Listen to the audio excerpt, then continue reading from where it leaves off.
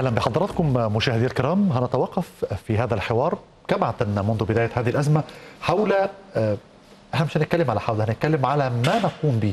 إحنا آه، بنتعامل مع فيروس كورونا باعتباره كائن حي وقد يكون آه، وإحنا بنلف عليه في محاولة لرصد كل ظواهر هذا الفيروس سواء لي شخصيا أو مؤثراته على الجنس البشري أو محاولات الجنس البشري على التأثير عليه. في أنواع كثيرة للتعامل مع هذا الفيروس من النظرية أو من الناحية العلمية.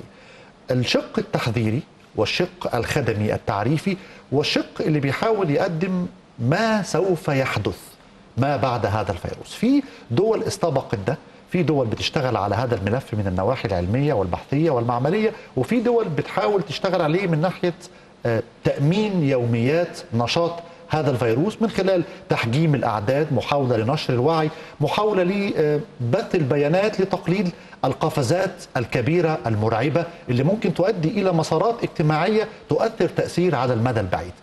إحنا النهارده هنتوقف حول آه، أو مع هذا الفيروس من زاوية من زوايا اللي إحنا اتكلمنا فيها مع حضراتكم حوالين إزاي الدولة المصرية تفكر للتعامل ما بعد هذه الأزمة أزمة فيروس كورونا، هل الدولة المصرية في تخطيطها في التعامل مع هذا الفيروس بتتكلم على إدارة آنية، إدارة حالية لهذه الأزمة في محاولة لإدارة المنظومة الطبية ولا بتتكلم إنه بعد تخطي هذه الأزمة إحنا محتاجين نعمل إيه في المنظومة الطبية والعادات الصحية المصرية في مواجهة الفيروس ده أو ما قد يستجد من فيروسات باعتبار إنه ما يقال أو ما يتم الهمهمة به إنه ما هو قادم طبقا لأحاديث الخيال العلمي هي الحرب الجرثومية أو البيولوجية. ايا كان أهلا بكم إحنا هنفتح هذا الملف مع حضراتكم بعد إذنكم حي الدكتور أحمد سعفان وهو وكيل وزارة الصحة المصرية سابقا وأستاذ بكلية الطب بجامعة عين شمس. أهلا بكم ونبدأ هذا الحوار أهلا بك يا دكتور. أهلا وسهلا. أطلت في التقدمه ولكن كنت جميلة كنت محتاج إن إحنا نشير إنه قد يكون التعامل اليومي آه، مع فيروس كورونا ولكن الزوايا إحنا بنحاول نرصد فيها كل آه، المناحي اللي ممكن تخلي المواطن يا إما يحترس أو يستفيد لأنه في الآخر الأزمة فيها قدر من الاستفادة فيها جزء من التثقيف الطبي. تمام حضرتك كطبيب شايف الأزمة دي النقطة اللي بدأت فيها والنقطة اللي استمرت أو وصلت ليها ومآلاتها مستقبلا شايفها إزاي طبيا؟ آه أنا يعني تعالى ناخد ال ال الأزمة ككل ولازم نستفيد منها إزاي يمكن امبارح آه معالي وزير التعليم العالي طلع بدراسة اتعملت من قبل الجامعات المصرية وأقر فيها إن ال- الفيروس أو الدورة الحياتية للفيروس هتوصل لأعلى بيك ليها آخر شهر خمسة وهتقل خالص لغاية نص ستة أو آخر ستة مفروض مش هيبقى فيه حالات خالص. تمام. تمام؟ إحنا طبعا الحمد لله ستر من عند ربنا اللي إحنا ما الجائحة عندنا ما كانتش عظيمة. إحنا 15000 حالة 600 آه، حالة آه، وفيات. ده مقارنة بالدول الأخرى ده رقم ضعيف جدا. تمام. طب إحنا إيه لما نيجي نحلل ال- الأزمة اللي إحنا عدينا فيها؟ إيه الحمد لله سبب نجاحنا لغاية دلوقتي أو عدم وجود كارثة زي البلاد الأخرى؟ أنا من وجهة نظري كطبيب في هذه آه، الجائحة وفي هذه المنظومة وسط مستشفيات كتير وأنا مسؤول عن مستشفيات كتير هي كانت حاجتين. اولا الرؤية للحكومة المصرية اللي إحنا كنا سباقين بالاويرنس وسباقين اللي إحنا نعمل آه، شحن معنوي للأطقم الطبية وزائد زيادة التعوية التع... التوعية. التوعية للمواطن المصري. ده في فترة لغاية قبل رمضان كان مقلل الحالات كويس جدا. تمام. طبعا سبب العادات وسبب ال- الارتباطات الاجتماعية الناس برضو زادت شوية في رمضان الاختلاط زاد شوية بدأت الحالات تزيد. كويس. كل ده وهتعدي إن شاء الله. اللي أنا دايما نفسي أقوله اللي إحنا ما بعد الكورونا إحنا هنبقى فين؟ علما إن كل في دراسات كتير قوي على مستوى العالم بتقول إن في جائحة تانية ممكن تيجي مع بداية الشتاء الجديد. والدول العظمى خايفة من هذا الكلام. تمام. وبدأت تنظر للأنظمة الطبية اللي انهارت في أمريكا وفي أوروبا. يعني الأنظمة الطبية اللي كانت في دول أوروبية وفي العالم الغربي إحنا بنبص له بهالة كبيرة جدا بعض الأنظمة دي انهارت تماما. فإحنا لازم يكون لينا رؤية. إحنا ما بعد الكورونا هنعمل إيه؟ يمكن الكورونا دي واجهتنا ببعض تراكمات من السنين اللي إحنا كنا واعيين فيها. في النظام الطبي. في النظام الطبي في مصر. تمام. الناس لما بتحس بالخطر بتتكاتف مع بعض. ويمكن أنا أحب أقول لحضرتك حبة أرقام. اتفضل. عشان الناس تبقى متخيلة القصة إحنا في وزارة الصحة عندنا خمس جهات جوه وزارة الصحة. كل جهة بتشتغل بشكل. ودول عددهم 620 مستشفى. إحنا عندنا طب تعالى نتكلم في الأرقام دي يا دكتور طبعاً. بت- بتبسيط. إحنا عندنا خمس جهات جوه المنظومة. جوه جوه اللي- وزارة اللي الصحة. بترعاهم وزارة الصحة. وزارة الصحة. تمام. كل جهة من دول كانت بتشتغل بلائحه بسيستم مختلف خالص عن التاني. عظيم. إجماليهم 620 مستشفى. نسب إشغالهم لا تزيد عن 40% تمام؟ دورة استغلال المريض على السرير في في سراير وزارة الصحة توصل لغاية 6 أيام. استغلال المريض؟ آه يعني است... استي ال- المريض بيستقر على السرير آه. متوسطه 6 أيام. عظيم. مع إن المعدل العالمي يومين ونص. وده يعتبر أمر إيجابي ولا سلبي؟ سلبي. تمام. إن دورة المريض بطيئة جدا. ده وإيه سببها؟ سببها الروتين والبيروقراطيه وحاجات كتير. طيب تعالى نتكلم فيها بالتفصيل بس أنا هسيب حضرتك بس يعني نسرد. أسرد لك عشان أيوة، تبقى أنت. متخيل القصة. عندنا المستشفيات الجامعية. دول 113 مستشفى. عددهم 35 ألف سرير. دول بيشتغلوا ب system تاني خالص. ودول مش مرتبطين بدول خالص. نيجي لهيئات خاصة. يعني ال 113 اللي هي المستشفيات الجامعية بتشتغل ب system غير ال system بتاع بتاع وزارة الصحة. 620 مستشفى تبع وزارة وزارة الصحة. وهل الأصل ان المستشفيات الجامعية دي تبع وزارة الصحة؟ وزارة التعليم العالي. عظيم. اتفضل. تمام. نيجي بقى لمستشفيات تانية اللي هي الهيئات الخاصة زي الجيش زي الشرطة دي هيئات. في مستشفيات حكومية زي الكهرباء زي مصر الطيران زي النقل والمواصلات. دي مستشفيات. وز- وزارة التضامن الجمعيات الخيرية بكل صورها دي مستشفيات. غير القطاع الخاص. تخيل بقى حضرتك كل ده جزر مستقلة. يمكن من أهم الحاجات اللي حصلت في الكورونا إن الناس دي بدأت تشتغل مع بعض من الخوف. قبل كده إحنا ما كناش بنشتغل مع بعض. كل system مختلف. طب ما أنا عايز أعرف يا دكتور يعني إيه كل system مختلف؟ يعني حضرتك وزارة الصحة نفسها عندنا حاجة اسمها القطاع العلاجي. عندنا حاجة اسمها الأمانة زي معهد ناصر عندنا حاجة اسمها المؤسسة العلاجية عندنا حاجة اسمها المعاهد التعليمية. كويس حضرتك. كل كيان من دول يندرج تحتيه مجموعة مستشفيات ليهم لوائح مختلفة عن الثانية خالص. تمام. فال system مش واحد. اللي هي اللوائح اللي بتنظم عمل الأطباء ضمن المنظومات دي. والمنظومة المالية والإدارية. تمام. مختلفة خالص. طب وده يفرق في إيه مع المريض؟ هقول لحضرتك. ده بيجي بقى في التطبيق على الأرض. كويس حضرتك؟ مفيش هارموني ما بينهم ومن بعض. العالم كله بيشتغل بإيه؟ بيشتغل بفكر واحد بس. في مايسترو هو اللي بيحرك المستشفيات دي وتشتغل. يعني هدي حضرتك مثال. اتفضل. المستشفيات الجامعية دي تعتبر المستشفيات ذات المرجعية. يعني ما فيها أعلى مستوى من الطب اللي المفروض يشتغل فيها أعقد العمليات. إحنا عندنا المستشفيات الجامعية بتعمل أبسط العمليات. تمام؟ المستشفيات على مستوى العالم كلها بتتقسم ل A و B و C. من ناحية وب وج كفاءة المستشفى كفاءة المستشفى. الأطقم الطبية ما هي دي كلها على بعضها. تمام. والتخصص اللي فيها. تمام. تمام حضرتك؟ إحنا ما عندناش هذا في مصر. فعندنا هدر في المجهود البشري وهدر في الفلوس. دي نقطة. لما تيجي نتكلم على اللوائح والقوانين كويس؟ إحنا عندنا في مصر لوائح قوانين هايلة. يعني عندنا قانون التأمين الصحي اللي صدر سنة 2018 اللي ممكن يحل لنا المشاكل دي كلها. تمام؟ ماشي ببطء شديد جدا. تمام يا فندم؟ ولسه ما اتطبقش. ومن. من المتوقع 12 سنة عشان يوصل لغاية القاهرة. طب دكتور عندك مانع إن إحنا ناخد الموضوع في محور تاني؟ تحت أمرك. مش محور تاني منفصل. تمام. إحنا هنا يعني فكرة حضرتك في طرحك للحوار أنت حضرتك قدمت بعض المشاكل اللي بتواجه القطاع الصحي. طبعا. يبدو إن هي طويلة.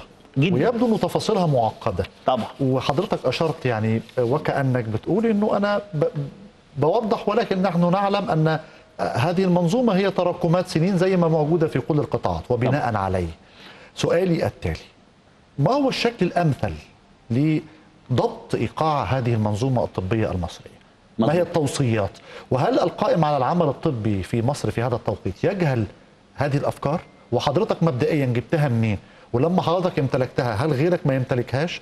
وهل الفكر الإداري الطبي في مصر كله يعرف الفكرة دي وهل هو بيعاني من ال- النقاط الضعف ده؟ أنا سألت سؤال شامل كامل بحيث أسيب لحضرتك. كامل الحرية إنك تجيب عليه كيفما بالعكس. سؤال جميل جدا على فكرة كل المعلومات دي معروفة لكل الناس في مصر تمام بس إحنا عندنا مشكلة أساسية إحنا ما كانش عندنا الإرادة السياسية القوية الحقيقية لتطوير المنظومة الطبية في مصر على مدار سنين فاتت كتير يمكن أزمة كورونا والناس لما بدأت تحس وبقت بقى موقف حكومي وموقف دولة بدأوا الناس تبص للمنظومة الطبية المنظومة الطبية عشان تقدر تقف قدام أي جائحة لازم تبقى منظومة قوية. قايمة على إيه؟ قايمة على الإدارة الحكيمة. الإدارة الحكيمة مش لازم أبقى دكتور عشان أعرف أدير إدارة حكيمة. للأسف الشديد حضرتك إحنا ما عندناش المستشفيات أو القطاع الطبي في مصر اللي بيدار بفكر اقتصادي. أي منشأة في الدنيا يا فندم طبية أو غير طبية إذ لم تدار بفكر اقتصادي تمام؟ هتؤدي إلى فشل المنظومة. عشان كده المواطن البسيط العادي ساعات كتير قوي بيبقى غير راضي على الأداء الحكومي في المستشفيات. طبعا ال ال ده ده موضوع كبير. بس أقدر أقول لحضرتك طب إحنا المفروض نعمل إيه؟ أو إيه الحلول هو ده- السريعة؟ وده كان سؤالي. بالظبط. إيه الحلول السريعة؟ وإيه الح- الحلول طويلة المدى؟ تمام. آه، من ضمن الحلول السريعة اللي إحنا لازم الفترة الجاية نعمل نوع من أنواع الربط ما بين المستشفيات كلها ببعضها. إزاي؟ عشان تبقى الأمور واضحة. إن الدولة تبقى دورها حاجة مهمة جدا. شراء الخدمة وليس تقديمها. وضح لنا. أوضح لحضرتك النقطة دي لما حصل مبادره الرئيس الفترة اللي فاتت في قوائم الانتظار كانت ناجحة جدا إحنا عندنا مشكلة كبيرة جدا في سراير الرعايه المركزة والحضانات تمام حصلت مبادرة رئيس الجمهورية لقوائم الانتظار. بدأت الدولة بتشتري الخدمة من القطاع الخاص ومن المستشفيات المختلفة وبدأت تشتريها من الجمعيات الخيرية. بتقول أنا هاخد آه، عملية المفصل اللي عندي فيها قوائم انتظار طويلة جدا. أنا اللي هيعمل لي العملية بالمواصفات دي هدفع له كذا. قوائم الانتظار انتهت. في عمليات الأورام في عمليات المفاصل في عمليات القلب المفتوح ودي كانت فكرة ناجحة جدا. إحنا النهارده وأنا بكلم حضرتك دلوقتي إحنا عندنا أزمة كبيرة جدا في سراير الرعايه المركزة والحضانات. يبقى إحنا لازم دلوقتي يبقى عندنا خطة قصيرة الأجل اللي إحنا نطلع من الكورونا دي بفكرين مهمين جدا. شراء الخدمة وليس تقديمها عشان كل قطاع الطبي في مصر يمسك في بعض. ودي توفر عليك إيه؟ على الرغم إنك بتتكلم هنا دكتور إن أنت هتشتري الخدمة يعني في أعباء مالية إضافية؟ هحكي لحضرتك حتة صغيرة جدا. اتفضل. لو خدنا مثال زي مديرية الصحة في محافظة القاهرة. تمام. ميزانيتها في السنة 3 مليار جنيه. 3 مليار. 3 مليار جنيه. 85% من هذه الميزانية رايحة في صورة مرتبات. تمام. يفضل 15% اللي بتقدم خدمة حقيقية. وهل ده يعيب الميزانية ولا الميزانية أصلا ق- لا ما يعيب الإدارة. اللي أنا وصلت من التكدس اللي أنا بدفع مرتبات أكتر من الخدمة الحقيقية. تمام. يعني لو حضرتك حسبت عدد المواطنين اللي بيستفيدوا من قطاع الصحة في في القاهرة لا يزيدوا عن 3 مليون مواطن. تمام. لو حسبت حضرتك ال 15% ال 3 مليار على ال 3 مليون أنا لو اديت لو اشتريت الخدمة أرخص لي. آه ودي الحقيقة اللي في مصر طيب عشان بس طبعا أنت حضرتك هترهقني لا مش مش لسبب لا، لأنه. لا لا لأنه يعني ضعف ضعف ما تمتلكه خالص. معلومات في هذه الفكرة خالص. فأنا مضطر إن أنا أستفسر يعني شوية استفسارات في هذه الجزئية تمام. أنت حضرتك لما بتقول أنت حضرتك طرحت نقطة مهمة إنه لما نشتري الخدمة كدولة أنت هنا بت- بتعمل تكامل في المنظومة الطبية وإنه بمعنى أدق أنت بتشغل الجميع تحت إشراف وإدارة واحدة بإنك عارف إيه الحالات اللي عندك وعارف تتعمل في أنهي مستشفيات وفي المقابل انت ورقابه جيدة. وأقدر أعمل رقابة. إزاي؟ ليه حضرتك؟ أنا لما باجي من أي مستشفى تبع هيئات أو تبع القطاع الخاص أو حتى المستشفيات الحكومية نفسها لما أجي أقول له أنا هخلي المريض عندك يعمل تغيير مفصل ب 30000 جنيه ودي أرقام حقيقية. آه. كويس حضرتك؟ هو أصلا المفروض يتعمل بكام؟ في القطاع الخاص؟ بتوصل ل 100 و 120 ألف. عظيم. تمام حضرتك؟ فأنا لما ابعت لك المريض هتعمل العملية بالمواصفات التالية وأنا هاخد منك النتيجة وفي الآخر هحول لك الفلوس. طيب. والتجربة دي فعلا اتنفذت. اتنفذت في قوائم الانتظار ونجحت جدا. بس ده كان بند من ضمن مش في مش في في اطار ثلاث أربع أمراض مهمين جدا. طيب. تمام. بس أنا شايف إن الحل السريع هو كده مشاركة المجتمع ككل. طيب حضرتك تعال نتكلم عليه من الناحية الرقمية. لما حضرتك ضربت آه، مثل وقلت إنه مديرية الصحة في القاهرة تمام. ميزانيتها 3 مليار جنيه وإنها بتصرف 85 من قيمة هذا المبلغ في الرواتب. وما يتبقى هو ما يسمى بالرعاية الصحية أو ال- المصروف المباشر على الخدمة الصحية. مظبوط. طيب حضرتك لو أحلنا الفكرة إلى إن أنت تشتري الخدمة زي ما حضرتك طرحت ده ال 15% اولا إحنا هنبقى ال 85% قائمة يعني هتضطر تصرف ال 85% من قيمة هذا المبلغ على الرواتب. لكن تقصد إنه ما تبقى من هذا المبلغ هيتم توظيفه بطريقة جيدة فهيكون المردود أكثر إيجابية. زائد حاجة ثانية مهمة جدا. المستشفيات الحكومية هتبتدي تتسارع اللي هي تاخد هذه الخدمة عندها بفلوس فتنمي صناديقها. غير لما المستشفيات الحكومية دلوقتي معتمدة اللي هي تاخد من موازنه الدولة. وما بتدورش على إرضاء المريض. ليه؟ هو أنا لما أجي أشتري الخدمة الطبية بشتريها بس من مستشفيات بشتريها من أشتريها مستشفيات من- الدولة؟ أشتريها من الدولة وأشتريها من القطاع الخاص وأشتريها من الجمعيات. يعني حضرتك عايز تقصد إنه كل مكان عنده خدمة طبية مميزة عنده متخصصين أكفاء نقدر. نشتري منهم الخدمة دي. وده اللي هيخلق نوع المنافسة. وده اللي هيخلي في الآخر رضا المريض أعلى بكتير. حضرتك دلوقتي وأنا بكلم حضرتك لو في حد عنده حد من أهله عاوز سرير رعايه مركزة دي مشكلة كبيرة جدا في مصر. ليه؟ إن عدم توافر الدكاترة بالتمريض بالخدمات الطبية بوجود السراير دي مشكلة تمام؟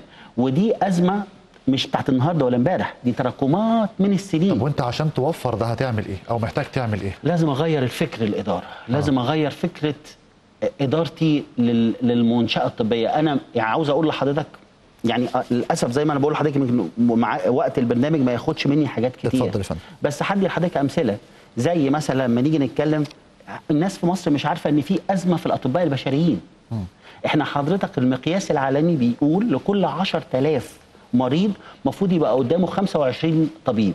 إحنا في مصر عندنا 8 تمريض 8 أطباء. أنا آسف بتكلم عن الرقم أطباء. تاني لو تكرمت المفروض المعدلات العالمية بتقول كل 10000 نسمة يكون متوفر قدامهم حضرتك 25 طبيب. تمام. إحنا في مصر ال 10000 قدامهم 8000 أسف 8 8 مش تمانية. 25 لا، مش يعني 25. في قصور في عدد الأطباء. زائد حاجة تانية مهمة جدا حضرتك تمانية. عدد الأطباء المسجلين في نقابه الأطباء في مصر 35% بس منهم اللي بيشتغل في المستشفيات ال- في القطاع الحكومي الباقي عازف تماما عن الشغل في الحكومة. ليه بقى؟ بيسافر بره. آه القطاع الخاص بياخده أكتر.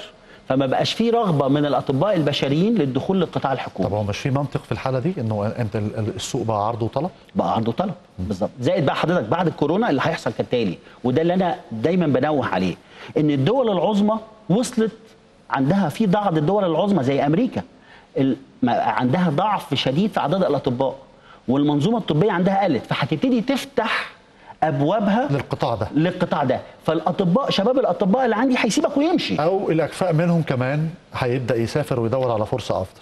ده هو اللي هيتعرض عليه. تمام. كويس. أو في الحالة دي أنت المفروض تعمل إيه؟ يعني إحنا ممكن في خلال ثلاث أربع سنين هيبقى عندنا عجز شديد جدا في الأطباء البشريين. طب مش إحنا دكتور عندنا كان في جدل داير في الفترة الأخيرة حوالين الأطباء وتسجيلهم والتكليف ليهم والجدل اللي دار حوالين دفعة 2020 مظبوط. طب أنا مش فاهم إيه التفاصيل ده هل ده ما يعتبرش إنقاذ ليهم وليه هم رافضين ومشكلتهم أصلها إيه؟ حضرتك الأطباء بالنسبة لهم حضرتك في مصر آه، يروح التكليف في وزارة الصحة ويتقاضى أجر 2000 ونص 3 أربعة في الشهر مثلا؟ ولا يعمل معادلة في ست أشهر وياخد 80 ألف دولار راتب شهري راتب سنوي في أمريكا. يعمل المعادلة ويورد 80000 دولار. ومين اللي هيقدر يعمل المعادلة؟ الشطار منهم. فالشاطر هيمشي. تمام. وعلى فكرة دي الحقيقة اللي بتحصل على الأرض. فإحنا لو ما قدرناش نغير المعادلة دي الأول فين كطبيب؟ حضرتك بيعملها هنا في مصر. في مصر في مصر في فترة الامتياز. تمام. كويس حضرتك؟ عشان كده وزارة الصحة دلوقتي عندها تكدس غير طبيعي من الصيادلة وأطباء الأسنان آه. وعندها عجز شديد في الأطباء البشريين. طيب. ودي طبعا من ضمن طبعا التمريض قطاع تاني. التمريض قطاع تمريض كبير. فده اللي أنا نفسي بقوله يا جماعة أزمة الكورونا موجودة وإن شاء الله هنعدي منها بس لازم يكون عندنا رؤية قوية للي جاي بعد كده. ولازم إحنا كدولة زي ما الدولة دلوقتي متكاتفة بكل وزاراتها عشان تقف في أزمة الكورونا لازم هذا التكتل يبقى موجود وتبقى فيه إرادة حقيقية من الدولة لتصليح المنظومة الصحية. اللي إحنا اللي جاي إحنا مش عارفين فيه إيه. طيب أنا عايز بس أتوقف شوية حوالين النقطة دي لبعض الاستيضاح. معنى كده إنه إنه إنه الدولة لما لوحت أو متمثلة في وزارة الصحة إنها قد تستعين بالصيادلة. ده كان نوع من الضغط السياسي على ال- الأطباء الجدد؟ لا خالص. أمال. ده نوع من أنواع الحل السريع عشان يقدر يحل مشكلة القص عدد الضعف عدد الضعف. ليه حضرتك؟ أنت عندك وحدات صحية في مصر اللي في القرى وفي النجوع مش قادر تشغلها كويس عشان ما فيش أطباء بشريين. كويس حضرتك؟ ليه هو كل اللي بيشتغل في النجوع أو بمعنى أدق كل اللي بيشتغل في الأماكن البعيدة بيشتغل في مستشفيات الدولة ده مش كل ال ال ال زي ما بتقول عليها كده كل الحمولة بتاعه الأطباء في مصر ده جزء صغير منها جزء صغير بس مش موجود هو أنت كمنظومة ما تعرفش تستعين بغير الموظف عندك واللي موجود عندك ما تقدرش تتعاقد مع طب حد وهو أصلا شروط إن يتوظف في وزارة الصحة دي إيه؟ اللي هو مكلف بياخد تكليفه عشان يقدر يكمل ويقدر حضرتك إحنا عندنا الأطباء لما بيتخرجوا آه. حاجة من الاثنين في جزء صغير منهم بيكمل في كارير الجامعة آه. أو جزء منهم بيروح للجيش أو للشرطة آه. أو ال- المفروض الأكتر بيروح يكلف في وزارة الصحة التكليف ده مش مش إجباري اختياري. آه، ممكن يتنازل عنه ويبقى طبيب حر. تمام. تمام بس ساعتها مش هيقدر يتوظف في أي وظيفة حكومية بعد كده. تمام. لو هو استقال. تمام. أنا عاوز أقول لحضرتك حاجة. أغلب الشباب بيعزف تماما دلوقتي عن التكليف. ليه؟ عشان يسافر. عشان يروح القطاع الخاص. عشان فرق الدخل غير طبيعي. آه. فلازم المنظومة تتغير لازم المنظومة تختلف لازم أبقى أنا منظومة مالية؟ المنظومة المالية والإدارية. آه. اللي خلي بال حضرتك شباب الأطباء ممكن العائد المادي مش كل حاجة في حياته العائد العلمي هو عاوز يتعلم. بس أنا لما ادخله التكليف في وزارة الصحة واقول له أنت مش هتقدر تسجل الماجستير أو الدكتوراه قبل سنتين أو ثلاث سنين. ده من شروط التكليف؟ مش ساعات في تشتيت التكليف يقول له ما تسجلش من على طول. فده طبعا بيخلي بعض الأطباء الشباب عاوز أتعلم أنا آه. عاوز أتدرب. آه. أو في بعض الأماكن في وزارة الصحة ما يبقاش فيها فترة التدريب سليم. فأنا لو غيرت المنظومة من الناحية العلمية اللي أنا أشده بالتدريب وإحنا عندنا قوانين ولوائح إحنا عندنا حاجة اسمها هيئة التدريب. هيئة التدريب دي المفروض تبقى مسؤولة ومنوطة عن تدريب الأطباء بس التفعيل التفعيل على الأرض. بس حضرتك؟ عشان كده بقول دي فترة ذهبية لل- اللي إحنا نظبط أداء ال system الطبي في مصر. إن الدولة كلها دلوقتي aware بفكرة الطب aware بأهمية الأطباء والتمريض aware بأهمية المستشفيات. فدي فرصة لازم نستغلها والقائمين على النظام الطبي في مصر لازم يعملوا ده. طيب آه، إحنا بنتكلم في آه، مخاوف. وحضرتك بتتكلم إنه في سرعة إنه في عندك أكتر من مهمة. آه، في جزء من هذه المهام هي مهام مرتبطة بقدرة الدولة المالية. على تجهيز المستشفيات. إحنا بنتكلم إنه القطاع نفسه الأفراد الطاقة البشرية عندها مشاكل والدولة بتحاول تحيط بهذه المشاكل وتحاول تقلل خسائرها. وحضرتك أشرت إنه أنت في تخوف من إنه الدول اللي سبقتك أو سبقاك علميا في في في إطار عملية آه، يعني إعادة تصحيح مسارها مسار منشآتها ومسار قوانينها ونظامها الطبي قد تستقطب مجموعة من الأطباء وإنها ممكن تسبب لك عجز زي ما هتسبب لغيرك عجز. لكن الأهم إنه أنت أنت كدولة من ناحية المستشفيات كأبنية من ناحية التجهيز المعدة ال- الدواء كل هذه المنظومة المرتبطة بأنك لازم توفر لها مقابل مادي علشان تكون مستشفياتك ونظامك الصحي مستعد لأي أزمات شبيهة بأزمات كورونا. أنت إزاي تقدر تغطي كل الفكرة دي؟ سواء من ناحية الأطباء من ناحية التكلفة المالية من ناحية تجهيز مستشفيات من ناحية إعادة قوانين من ناحية ربط إداري جديد كل ده إزاي تعمله؟ آه السؤال جميل بس أحب أرد عليه بالأرقام. تمام؟ آه إحنا في مصر البنية الأساسية بتاعتنا كطبية بنية قوية جدا وثبتت دي في وقت الكورونا يعني المستشفيات العزل اللي الناس دخلتها على أعلى مستوى. بس أحب أقول لحضرتك أرقام سريعة. اتفضل. المعدل العالمي في أحسن النظم الطبية لكل ألف مواطن لازم يبقى قدامه سرير. كل ألف مواطن قدامه سرير يعني لازم يكون في سرير عشان يخدم ألف, ألف مواطن طيب لو إحنا 100 مليون يبقى إحنا عاوزين قد إيه؟ حضرتك احسب بقى عاوزين 100000 آه. عاوزين 100000 سرير تمام. نرجع للارقام اللي أنا ما قلتها إنه حضرتك اديتني رقم في. في في عجز وقصور أصلا في عدد الأطباء إن كل 10 أطباء إحنا بنتكلم كل بالظبط لا أنا 10,000 بتكلم على المنشآت الطبية دلوقتي كمان. كمستشفى طيب. حضرتك إحنا دلوقتي وأنا بتكلم مع حضرتك كده وزارة الصحة بتملك 58 آه، 54 ألف سرير. مستشفيات الجامعية بتملك 35 ألف سرير. يعني حضرتك لو حسبت الاثنين دول على بعض إحنا بنتكلم في حوالي 90 ألف سرير غير القطاع الخاص غير المستشفيات الثانية فاحنا ما عندناش أزمة في المنشآت الطبية. خالص. ده طبقا للمع- للمعايير الدولية. طيب. تمام؟ بس إحنا عندنا مشكلة أكبر. إيه؟ عندنا مشكلة في إدارة المنشآت. لما يكون عندي المنشات دي بنسب إشغال تتراوح ما بين 25 و40% يبقى أنا مشكلتي في الإدارة. مش مشكلتي أنا بالعكس أنا بنيت البيت الجميل وفرشته بأحدث الأجهزة بس ما عنديش اللي يشغل.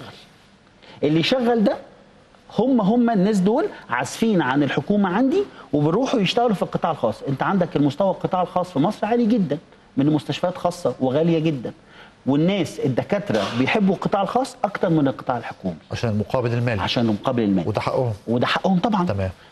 وفي الدول العالم كله دايما القطاع الحكومي أو القطاع المجتمعي بيبقى أعلى من القطاع الخاص. إحنا ماديا تقصد. آه، المفروض بيتساووا مع بعض. تمام.